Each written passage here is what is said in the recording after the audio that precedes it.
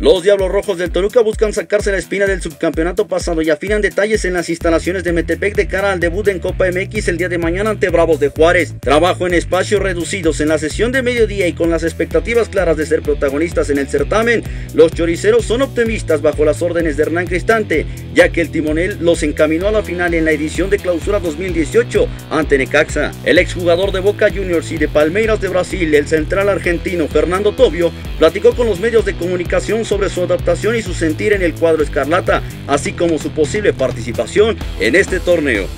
Bueno, la experiencia, la verdad que vengo de otro fútbol, pero estoy adaptándome bastante rápido, eh, la mando y bueno, después eh, lo que sea necesario que el técnico, el técnico pida. Eh, vengo trabajando bien, hoy se entrenó bastante bien para, el partido de mañana, así que como dije antes, me agarra un buen momento y bastante Trabajo eh, más que nada en lo grupal, en la parada y, bueno, algunos trabajos tácticos que, son fundamentales para, para mi posición. Eh, los hice bien, así que espero demostrar lo que trabajamos en la semana mañana a las 9 de la noche.